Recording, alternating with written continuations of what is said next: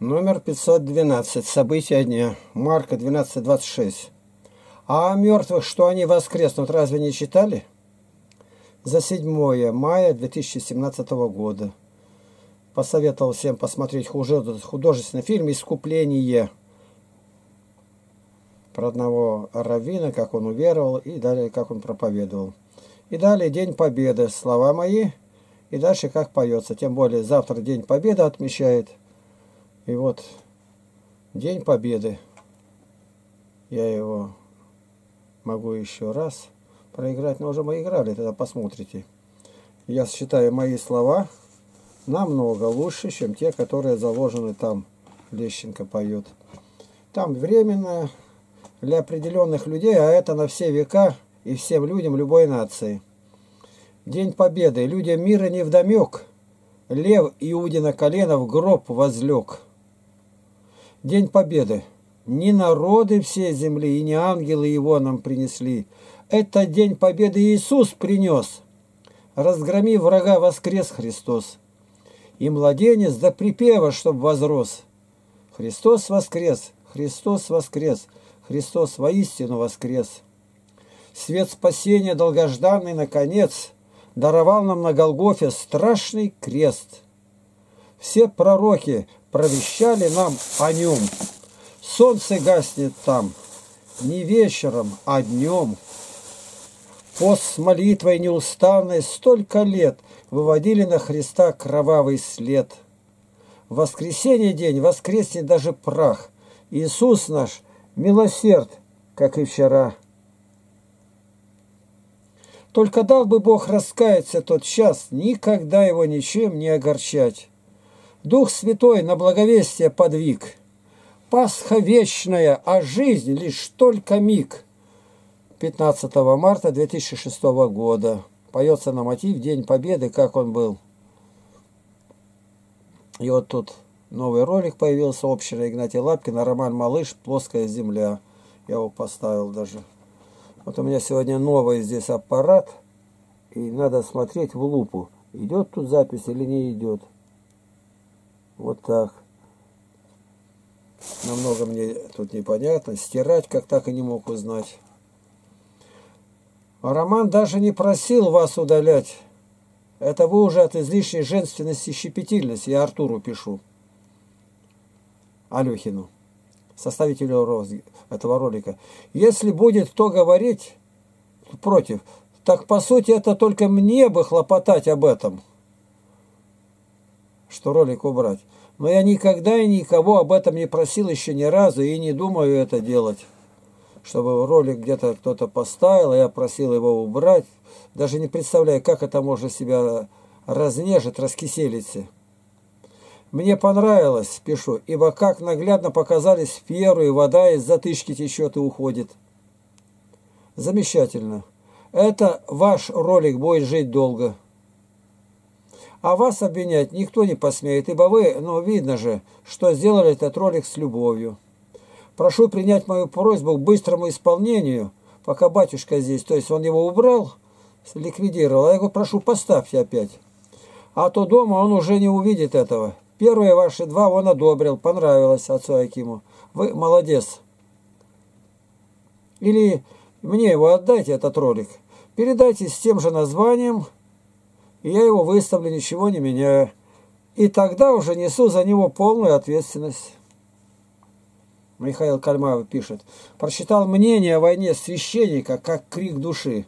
Мало кто знает о потрясающем священнике Спиридоне Кислякове.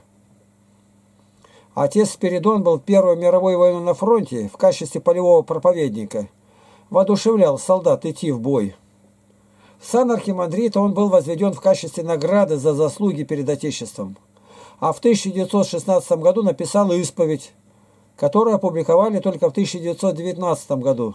Цитата будет длинной, но она стоит прочтения. Я о нем много читал, и, ну, кажется, у бурят трудился там. Кавычки открыты. «Перо выпадает из рук при одной только мысли о том, что я делал на войне». Я, будучи священником алтаря Христова, все время войны с крестом и святым Евангелием в руках ревностно занимался кровавой травлей одних христиан на других. Я запричастил святыми тайнами около двухсот тысяч солдат, которые от меня шли убивать христиан. Во что я превратил святые тайны? Не в одно ли из могущих средств воодушевления солдат на убийство, подобных себе солдат? Через причащение солдат, идущих в кровавый бой, не посылал ли я самого Христа убивать людей и самому быть убитым? Своими кощунственными безбожными проповедями я безумно вдохновлял своих отечественников, воинов, на бесчеловечное убийство и зверское истребление немцев и австрийцев. С пеной у рта я убеждал их в том, что настоящая война есть Божье правосудие над тевтонами. И мы, русские, в купе с верными нам союзниками в настоящее время являемся в руках Божьих грозным всеистребляющим орудием его праведного гнева на властолюбивого Германию. Поэтому мы должны считать своим священным долгом без всякой пощады убивать немцев и железной рукой уничтожать и сметать их с лица земли, как самый вредный элемент человечества. Я мастерски подтасовывал евангельские тексты и исторические факты с той целью, чтобы перед судом христианской совести воинов не только оправдать эту народную бойню, но и придать ей характер чисто религиозно-нравственный. Теперь же за все мои военные подвиги, в кавычках, совесть моя беспощадно меня мучает. Особенно меня мучает смертельная тоска по живому Христу. Я ради интересов государства, своей русской нации и личной жизни давно отрекся от Него, от Бога. Ради Христа я отвергаю, всем своим существом отрицаю и проклинаю всякую войну со всеми ее свойствами, принадлежностями, церковными благословениями, молитвами и молебнами о победе врагов, и все это считаю явным и сознательным отречением от Христа и его евангельского учения. Ради Христа отрицаю и всем своим существом отвергаю и проклинаю все свои военные проповеди и считаю их за открытую вражду и измену Христу и его святейшему учению. Ну и показано, где найти. Вячеслав Марущак. Срочно нужна молитва, друг и брат во Христе, бывший протестант, который принял православие, он готовился покрестить свою дочку трех лет. Сейчас она в реанимации. Брата зовут Саша, а его дочь Оливия. И далее пишет Владислав. Христос воскресе! Воистину воскресе! Благодарю за молитву. Девочку ночью покрестили в реанимации. Вскоре после крещения она стала дышать своими легкими, отключили от аппарата. Под утро пришла в сознание. Ну а ближе к обеду перевели с реанимации в палату. Слава Иисусу Христу! Ну вот мы молились, нам очень приятно слышать. Ибо, во-первых, слышу, что когда вы собираетесь в церковь, между вами бывает разделение, чему отчасти и верю. Павел говорит дальше. Люди становятся еретиками, оставаясь внутри церкви. Теперь же, когда они вне церкви, они приносят нам больше пользы, не тем, что учат истине, которые не знают, но побуждая плотских христиан искать истину, а христиан духовных ее растолковывать. В Святой Церкви есть много мужей искусных перед Богом, но они не бывают явлены в нас, пока услаждаясь мраком своего невежества. Мы предпочитаем предаваться сну, а не созерцать свет истины. Поэтому многие пробуждаются от сна благодаря еретикам, дабы видеть день Господень и возрадоваться. Итак, будем пользоваться еретиками не с тем, чтобы одобрять их заблуждения, а чтобы самим быть более бодрствующими и осторожными, защищая кафолическое учение от их козней, хотя бы самих их и не могли мы призвать к спасению. Августин и Панийский, блаженный Августин, об истинной религии. Я далее пишу Артуру Алехину. Благодарю, вы ролик ваш этот не убирайте, это ваш труд. В нем вы никого не обидели. На наших ресурсах вы можете найти море материала. Еще раз посмотрите на название и на число тем на нашем форуме, сайте, ютубе. От ваших роликов таких вот. Польза всем. И да благословит вас Господь на всякое доброе дело, Игнатий. Артур отвечает, да, конечно, я бы хотел, чтобы вы его скачали и далее сделали с ним все, что захотели, а я бы со своего все-таки удалил бы.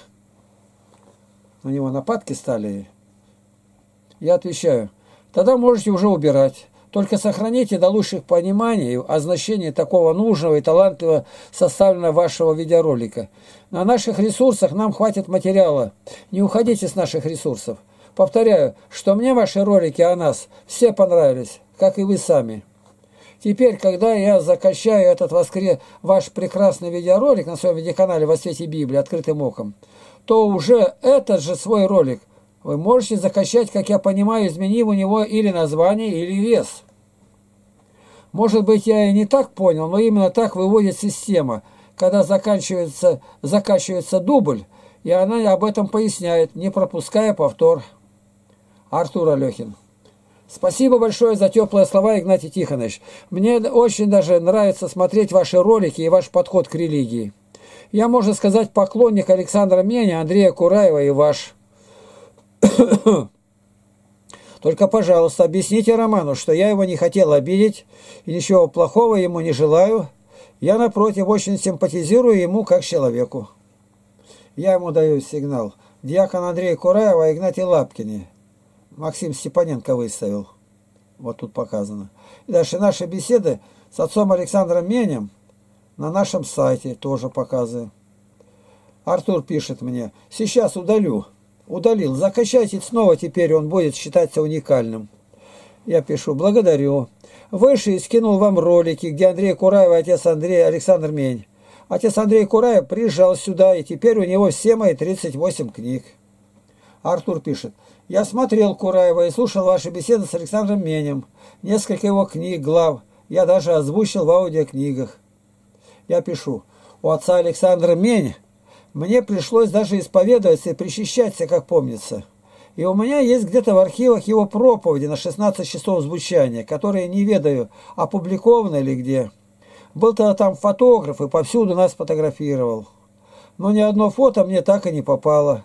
Отец Александр мне тогда подарил свое фото, где он на могиле матери совершает молитву, надписал ее. Когда мне пришлось тут вести три радиопрограммы на радио, то наша беседа с отцом Александром Менем я разбил, кажется, на шесть сеансов. Были недовольные, которые упрекали меня, что вот я с таким знатным человеком спорю. На что я ответил, я мог спорить и говорить, а другие это уже не смогут. Почему? Только потому, что я говорил о своих с ним несогласиях, лично, в глаза, и это нас ни на шаг не отдалило. А вы будете пинать мертвого льва и наши беседы уже вам не повторить никогда, даже за сокровища всего мира, потому что нет его, он уже на той стороне. Мои ролики пытались комментировать разные люди, но природное их хамство занесло их в черный список. Может быть, это поприще вам, Артур, предназначено свыше? Наши материалы пояснять там брать. Артур, нет, мне кажется, свыше это громко сказано. Я всегда делаю обзоры на темы, которые меня возмущают, которые против справедливости и против здравого смысла, на мой личный взгляд. И, честно говоря, делая второй обзор на Никиту и третий на Романа, я боялся, что вы меня раскритикуете. Я руководствуюсь своими понятиями о честности, здравомыслием и справедливости, и всякий раз боюсь, что я не прав. Я пишу. У меня написано 3467 стихотворений, каждое по 9 куплетов четырехстрочных. Это 4 тома по 500 страниц. Стихами их назвать не решаюсь, а название так, проповеди в стихах. Так вот, они иногда с двойным и даже с тройным подтекстом. И уже не раз мне говорили, что нужно особое растолкование на эти стихи.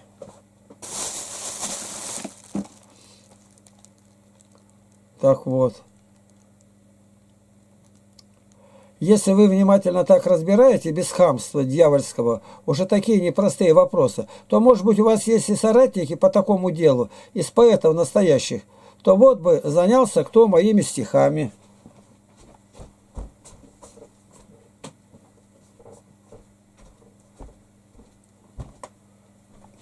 Вот так. Мне нужно видеть понимание людьми, написанного мною. Притом нередко у меня напротив каждой строчки указано место, откуда взята мысль. Книга Святой Библии, глава и стих. То есть, чтобы прочесть только одно стихотворение, нужно открыть Святую Библию 36 раз. Тут кто-то мне пишет, я скрыл имя. имею огромное желание приобрести ваши книги. Доброго времени суток, Игнатий Тихонович. В 1999 году познакомился с Христом лично. С детства мучил вопрос, кто такой Христос, но никто из моих близких не мог дать ответ, пока не попалась в руки книга для детей об Иисусе Христе. Прочитав ее, я заплакал и стал верующим. На тот момент я думал, что я один такой. В 2001 году в экстренных ситуациях я трижды слышал голос «Если ты не придешь ко мне, то погибнешь, тебе нужно идти к своим».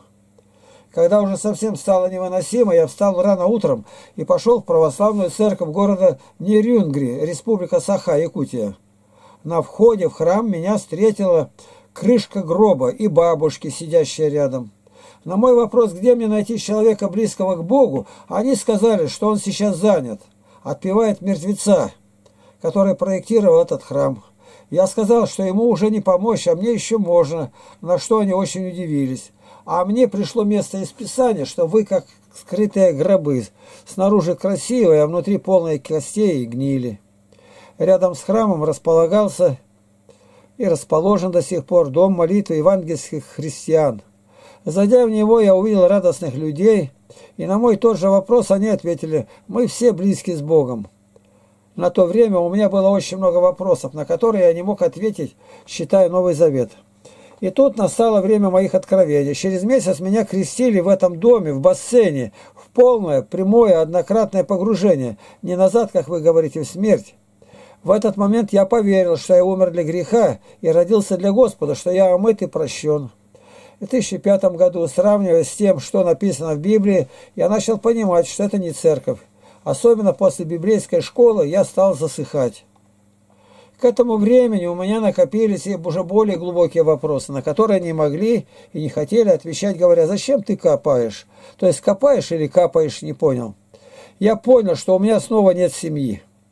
В 2005 году я возвратился к себе на родину в Кемерово, походил немного пятидесятником, но уже ничто не радовало. Пытался как-то сам выжить. В начале этого года, отчаянно помолившись, «Господи, дай мне учителя», уже на следующий день я был на вашем канале в Ютубе. И до сегодняшнего дня я как заново родился. Благодарю Господа за вас. Вы мой учитель в познании Иисуса Христа. Ну, вот человек новый пишет, я и знать не знал его. Вначале хотел выйти с вами на скайп, вопросов было очень много. Но на все эти вопросы, на все вопросы, главное, я Постепенно получал ответы из вашего общения по скайпу с другими людьми. Это мне все говорят. Значит, не одно и то же задают. Вы меня полностью убедили, что православная церковь истинная, хоть и захвачена пиратами. Итак, 28 апреля 2017 года я пошел в наш поместный храм. Там батюшка Анатолий объяснил мне, что у нас с женой незаконченное крещение. И уже 29 апреля батюшка покрестил двух наших маленьких детей, просто помочив и помазав их голову. Полного погружения не было. А она с женой помазал миром. Супруга моя тоже принимала однократное погружение в том же месте, где и я. И вот теперь вопрос. Игнатий Тихонович, объясните, пожалуйста, имеем ли мы на самом деле с женой крещение? И что делать теперь с неправильным крещением наших детей? Скажите, как по-вашему, обязательно ли носить нательный крестик? Еще один вопрос. Как приобрести ваши книги? Новый Завет с толкованием три тома и к истинному православию. Считаю, что эти книги будут мне очень полезны. Заранее спасибо за ответ с уважением Виталий Б. Я скрыл его. Я отвечаю. Исправить можно, направить свои стопы сюда, к нам, в Потеряевку, где 9 июля 2017 года будет истинное крещение с полным погружением в озере. Вы вовсе даже недалеко от нас. К нам приезжали из Франции, из Германии, из Бразилии, Америки, Австралии и других отдаленных мест. Наталья Чернова. Мир вам, Игнатий Тихонович. Подскажите, папа наш крестился полное погружение, а ребенку пяти лет, пять лет было, его посадили по пояс в чашу с водой-то и сверху поливали ковшом. Считается ли, что ребенок крещен? Я отвечаю, где стоит слово «крестить», «крещен», там стоит в оригинале слово «погружен». В данном вашем случае погружена была задняя часть, на которой сидят.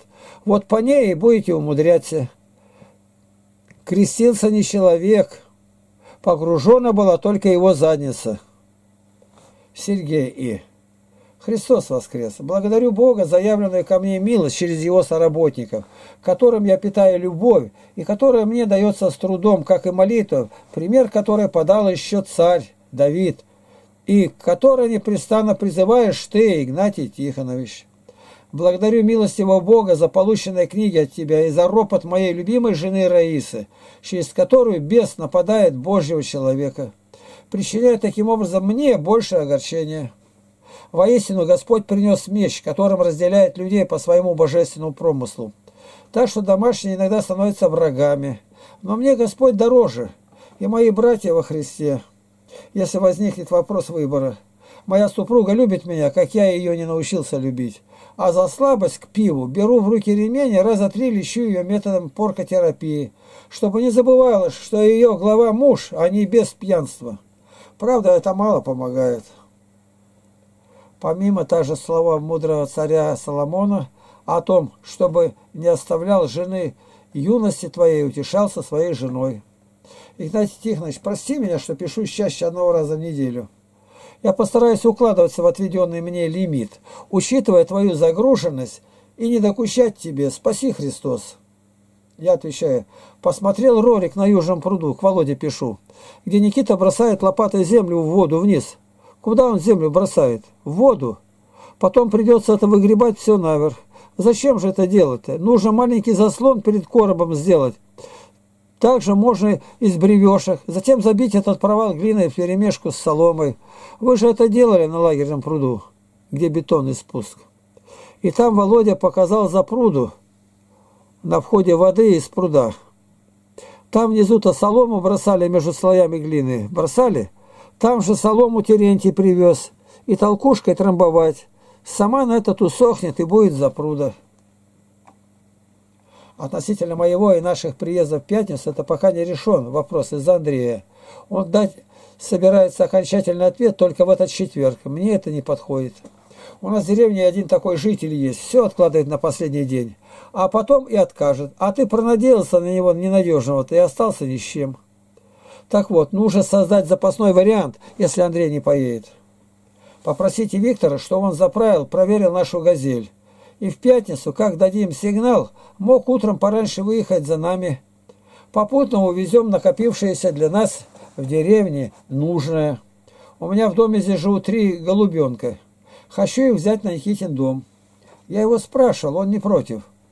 И там на голубятне нужно все обиходить, вымести гнезда, почистить, воды в тазике поставить, выход литок закрыть стеклом. И с улицы придется сделать так же, как на Володином доме с голубями. Но пока хотя бы закройте лишь литок стеклом, а я могу и сам литок спроворить. И подвесить такой же для пшеницы квадрат и на нем тазик с зерном. Это тоже могу сделать сам, но в тазик сразу насыпать пшеницы немного, захватить, думаю, и старые голубя два, чтобы там они могли пробыть лето. Детям это очень нравится. И вот такой, значит, разговор у меня тут был. Это виде разговора. Ну и показать там, что у нас есть. Это вот мой мир. Я очень люблю эту систему. Мой мир. Видишь, как удобно очень. Вот кто-то прислал мне ну кто там? Василий Гедоев, священник. Как будто священник. Ну вот, прислал. А она мне не нужна. Мигает здесь. Я желаю ее убрать, а убрать не уберешь. Не работает сегодня. Не работает. У меня закачка идет. Может, поэтому не идет. А тот второй еще кто-то пришел. Подарок от пользователя. Ну ладно. Далее у нас форум. Вот как он выглядит форум. Православный форум Игнатия Лапкина. 1600 тем. Вот посмотреть, как тут идет на новом. Не нравится мне. Плохо-плохо видно все. А цена такая большая. Дальше. Это я загружаю. Осталось на 31 минуту. Ну, большой ролик. И далее во свете Библии наш сайт. Православный библейский сайт. Справа вот 4124 ответа на вопросы. И по темам я иду. Отдельная тема. Выношу. Сейчас у меня уже вот на две темы пойдет. Так. Что мне здесь нужно? Священство. Осталось все только два вопроса. Их надо разобрать и сбросить. Вопрос 2452, 11 том открытым оком. Что можно посоветовать тому, кто решился стать священником? Ответ. Ознакомить с шестью словами Златоуста о священстве, чтобы имел представление, что он должен будет делать, а не просто кадилом дым пускать до тщеславицы. Хороший совет дает иеромонах Нафанаил Судников, знакомому претенденту на должность тирана и самодура. Он много знал, занимался даже китайским языком, здесь был английским. Ученый-монах. Мирянину, желающему стать священником, заголовок сделанный, Константину Филатову. Вот его телефон домашний. Когда я, Бог, скажу беззаконнику, беззаконник, ты смертью умрешь, а ты не будешь ничего говорить, чтобы предостеречь беззаконника от пути его, то беззаконник тот умрет за грех свой, но кровь его, его взыщу от руки твоей. Если же ты остерегал беззаконник от пути его, чтобы он обратился от него, но он от пути своего не обратился, то он умирает за грех свой, а ты спас душу твою о том человеке, кто дал соблазн. Иезекииля 33.8.9. Дорогой Константин, я его знал, он в университете там работал, попутно в епархии. Известно мне, что тебе очень хочется стать священником, и ты даже предпринимаешь некоторые шаги, шаги для того, чтобы это исполнилось. Неравнодушие к тебе, тревога о твоей душе заставляет меня написать тебе по этому поводу некоторые свои соображения о дальнейшей твоей судьбе и о твоей жизни в том, что сегодня называют православным христианством. Христианство не существует без церкви.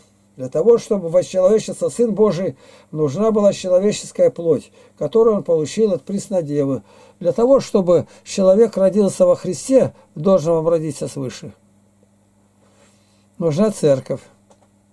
Дух Святой зачал в Марии Сына Божия. Духом Святым начинается христианин в лоне Матери Церкви. Когда Дух коснется сердца человека, то человек всем сердцем обращается ко Христу. Христос является человеку, человек встречает Христа, как апостол Павел по дороге в Дамаск. 9 глава, с 3 по 22 стих. Человек падает перед Христом и говорит одно, «Господи, что повелишь мне делать?» Невозрожденного христианина Господь посылает к Анании. Он получает от матери плоть, учения Христова, свои новые убеждения, новых друзей, новых родственников. Мать воспитывает его, любя, милостиво прощая, но строго наказывая эпитемьями. Кого я обличаю, тех обличаю и наказываю. Откровение, 3 глава, 19 стих. Гляжу, кто пришел или нет. Ну, как будто нет, там Сергей обещал прийти. Так. Мать воспитывает его, любя милостью, прощая, но строго наказывая. Кого я люблю, тех обещаю и наказываю. Откровение 3.19. Но церковь это не есть вообще любая организация, уважающая Библию или даже имеющая священство. Основные признаки истинной церкви это апостольское преемство иерархии. На первом. Второе. Правильное святоотеческое понимание Евангелия. И третье. Внутренняя жизнь, строго управляемая книгой правил, канонами седьмой, вселенских, девять поместных и четырнадцать святых отцов. Апостольское преемство, кроме православных, сохранили католики и монофизиты. По второму пункту, по крайней мере, православные издают книги святых отцов. Что же касается применения их жизни, то есть, то этого не найдешь сейчас. Третий пункт. Сейчас почти нигде в современной православной с глубоким равнодушием и усмешкой глядят сегодня на книгу правил, дескать, время не то. Воистину, пришло время нового христианства. Новое христианство завоевывает мир все больше и больше. Точнее, мир завоевывает, и христиан все больше и больше. Но новое христианство не дерзает еще напрямую отрицать Евангелие, а просто приспосабливает Евангелие к своей жизни, вместо того, чтобы строить жизнь по Евангелию. Новое православие еще не дерзает отрицать авторитет святых отцов, но просто приспосабливает их учение к современности, выбирая из него то, что комфортно. Пример. Что находите вы в православной церкви? Вопрос. Хорошие, добродушные люди, друзья, осознавшие собственные эгоистичные значимости от прислуживания в алтаре, куда по канонам вы не имеете права входить. Седьмой Вселенский собор, 69 правило. Уважительное отношение со стороны священников и, может быть, даже епископа. Милая околоцерковная суета вокруг прихода крестных ходов, издания церковной литературы и прочего. А если все-таки удастся стать священником, о, это будет прекрасно.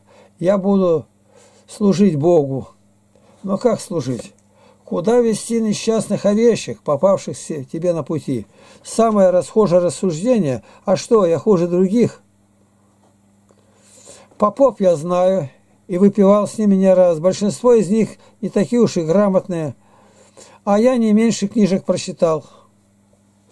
Многие просто разгильдяи, а я по благоговению буду и к людям буду повнимательней относиться, а большего и не надо. Кое-как досчитал эту строчку. Надо вот просчитать, просто просчитать. И что делать современные христиане?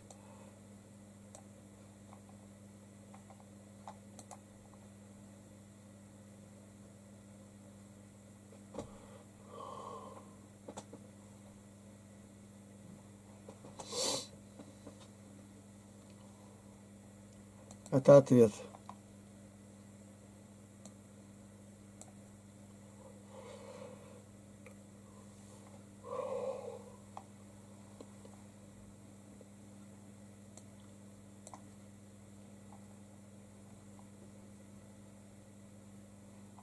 Ну, далее эпиграф свой привожу, вот этот вот.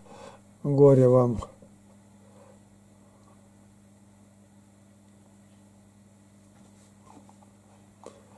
Последние десятилетия безбожного режима власть не преследовала верующих. Они враги были не опасны. Вот так. Ну вот. Тут что можно прочитать еще? С кем ты был бы, 30 со спасающими ложью или со святителями, сохранившими свободу во Христе на тюремных нарах, в лагерях и ссылках? С кем бы ты был с мироносцами креста, приходящими мимо и кивающими головами. Матфея 27:39. С безумной толпой, кричащей «Распни, распни его» Лука 23:21. Или патри... патриотами Израиля, архиереями, зелотами, фарисеями, хлопочущими перед властями о казни обманщика. Иоанн 11:48-10. Итак, церковь бежала из пустыни, церковь желает комфортно жить в мире, Откровение 12.6, в мире придется жить и вам, приходится епископам угодничать, фуршетить с президентами и мэрами, главными административной, сидеть за бутылкой и генералами, и полковниками, и директорами, и коммерсантами, награждать их церковными наградами, принимать от них награды государственные. Придется это делать вам, хоть может и не с таким размахом.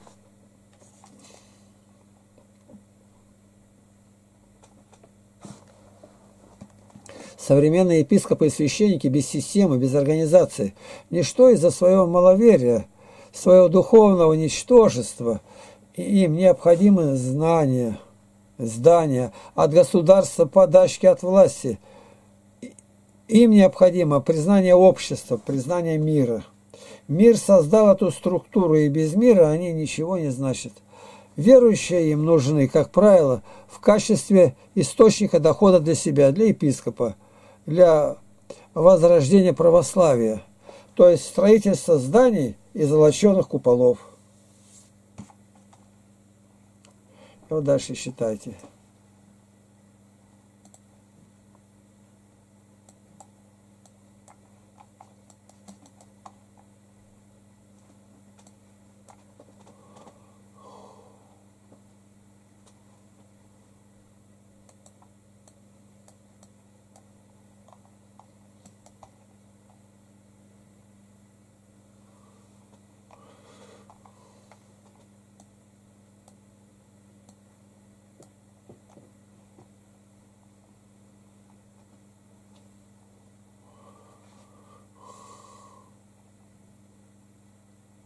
Боюсь я более всего себя.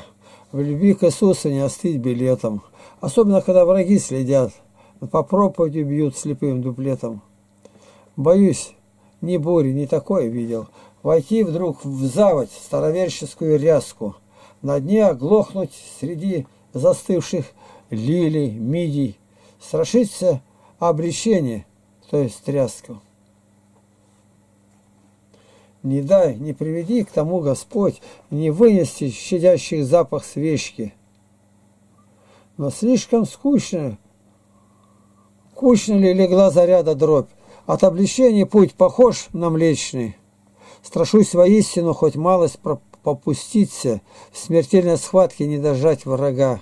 Свой караван мне довести бы в пристань, там, пока хозяин не запрет врата изменники, горластые сутяги, которых из ладоней я кормил, они же вылезли с такой протухшей бякой, что белый свет покажется не мил. Но не страшусь за тех, кто им внимает, крепиться начинает знак крушения. Враг до трусов разденет и до майки, их доводы сосватает и Женя. Не темноты боюсь за тех, кто взлет темнит и охорашивается до одной пылинки. Не устоять им против наших книг с библейским курсиво ржавой начинкой. Не огорчать бы Бога не смирением, а граду заповедь не перелезть тайком. Прожаривают с стерильным стерильности превыше Христова брения прожаривает своим кипятком. Прожаривает словом кипятком. Вот как. 7.12.04. Ну, даже уже не знаю, сколько мы тут говорим. Цифры не видать даже. Даже в лупу не видно. И не знаешь. Вот начал записывать. То есть она что здесь? Много надо я знаю.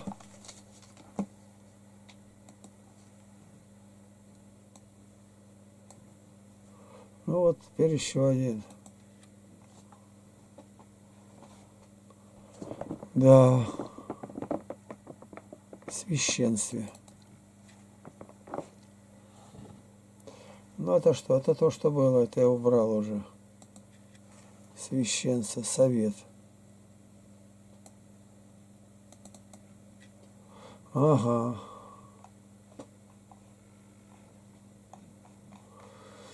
Вопрос 657. Второй том открытым оком. В чем заключается основная работа священника? Разве не в том, чтобы вести свою паству к спасению? Почему священник вашей общины мало общается со своими прихожанами, а больше занимается сельским хозяйством? Разве община не смогла бы обеспечить всем необходимым? Ответ. По вашей записке видно, что вы отца Акима совершенно не знаете. Это мой родной брат Аким Тихонович. Он на пять лет моложе меня. Пришел ко Христу через меня. Он мне очень дорог теперь, как духовный отец, в том смысле, что я у него исповедуюсь и причащаюсь. Меня никто не упрекнет в неблагоговейном отношении к нему и его сану, но также никто не скажет, что я заискиваю перед ним или ищу ему льщу. Ему от меня достается. Будь здоров. Бывают и упреки, и укоры, как раз то, что он мало общается с людьми по соседним деревням, не благовествует в окрестностях, а больше едет, когда в кармане-то только у него больше нету нигде. Так, сейчас надо глянуть, что у меня здесь есть. Совершенно не видно. Мне бы хотя бы 105 процентов только. Нету. общается со своими прихожанами. Это неверно. Он исключительно прост в общении, доступен для прихожан в любое время. Его прихожане – это и православный поселок Потеряевка. Он ежедневно среди своих прихожан беседует и шлифует их. Апостол Павел, хотя и не говорил о себе, что может жить от благовествования, но, однако, работал и руками своими проповедуя даром. Ну и тут неубранное поле. За что же мне награда? за то, что проповедую Евангелие, благовествую о Христе безмездно, не пользуясь моею и властью. Так, согрешил ли я тем, что унижал себя, чтобы возвысить вас, потому что безвозмездно проповедовал вам Евангелие Божие? 2 Коринфянам 11.7 Действительно, у батюшки свое хозяйство, свой огород, матушка Людмила – прекрасный агроном. От отца Акима никто не уезжает с пустыми руками. Если у него появляются излишки денег, то он их всегда употребляет на других и на храм. Он для вас действительно один из нас, когда ест и пьет с нами за одним столом. Нам тяжело провожать его к архиерею, нагруженному всегда подарками от своих трудов для священников, его собратьев и архиерея. У него всегда проходят общие трапезы всей Свято-Анфимовской общины и Крестовоздвиженской. Ваш вопрос от незнания дела. И приглашаю вас в гости к батюшке. Вот так. Это вот написано. Так, теперь мы хотя бы посмотрим, сколько у нас тут. Даже невероятно. Совершенно нет. Вот теперь я беру его и наклоняю.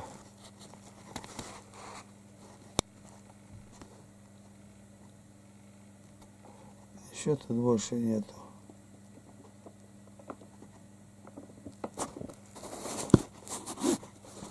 Вот так. На этом все пока.